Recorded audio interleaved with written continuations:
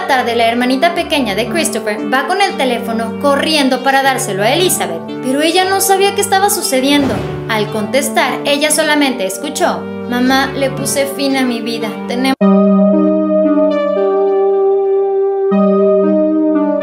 En pleno auge de la situación actual, exactamente en octubre del 2020, Elizabeth Gutiérrez, pareja de William Levy, recibió una noticia que ninguna mamá desea escuchar.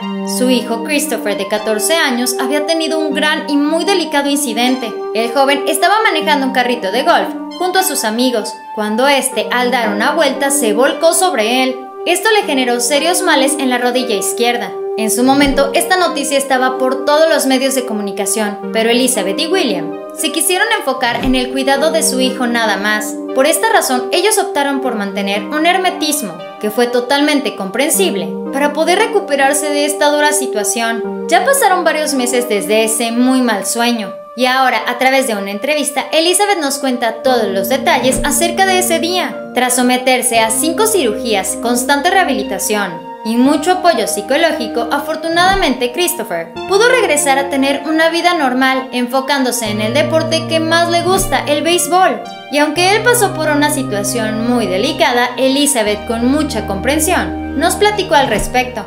Parece ser que ese día Christopher se había quedado a dormir con uno de sus amigos. Elizabeth le marcó a las 9 de la mañana para decirle que ya iba a ir por él. Como cualquier adolescente, Christopher le pidió a su mamá que lo dejara quedarse un rato más, a la una de la tarde, la hermanita pequeña de Christopher va con el teléfono corriendo para dárselo a Elizabeth, pero ella no sabía qué estaba sucediendo.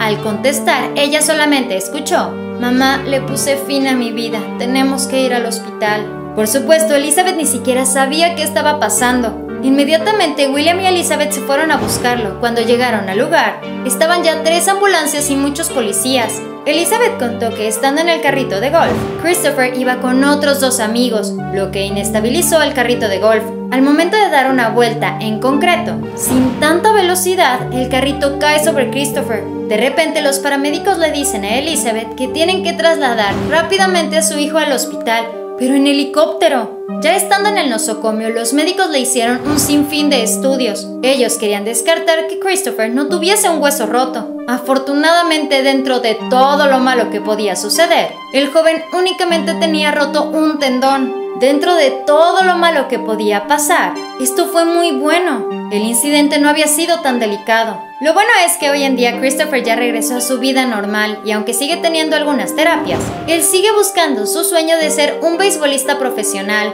Esto fue el Muro de la Fama. Dale like a este video, suscríbete y síguenos en Facebook. Pero antes de que te vayas, chécate este video. Espero que tengas un excelente día. Nos vemos muy pronto.